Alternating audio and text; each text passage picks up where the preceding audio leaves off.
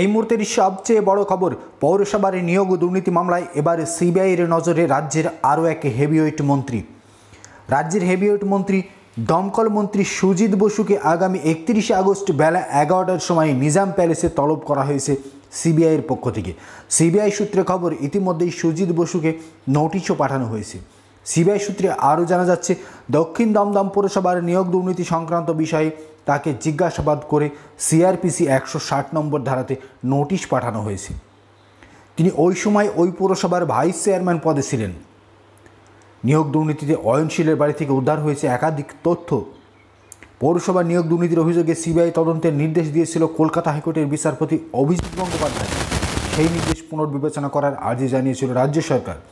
যা খারিজ করে আগের নির্দেশে বহাল রাখেন বিচারপতি অমৃতা সিনহা।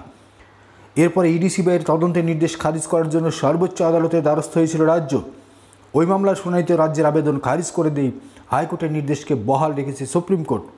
তখন থেকেই কোমর বেঁধে পৌরসভার নিয়োগ দুর্নীতির তদন্তে মাঠে নেমেছে সিবিআই বেশ কিছুদিন আগেই নিয়োগ দুর্নীতি মামলায় চোদ্দোটি পৌরসভায় একসঙ্গে অভিযোগ চালিয়েছিল সিবিআই সিবিআইয়ের এই অভিযানে বহু নথি হাতে আসে।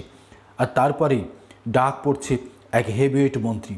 সে মন্ত্রীকে ইতিমধ্যে একত্রিশে আগস্টের মধ্যেই সিবিআইয়ের সদর দপ্তরে হাজিরা দেওয়ার নির্দেশ দেওয়া হয়েছে। এই মুহূর্তের সবচেয়ে বড় খবর, নিয়োগ দুর্নীতিতে আবার জড়িয়ে গেলেন পুরো দমকল মন্ত্রী সুজিত বসু।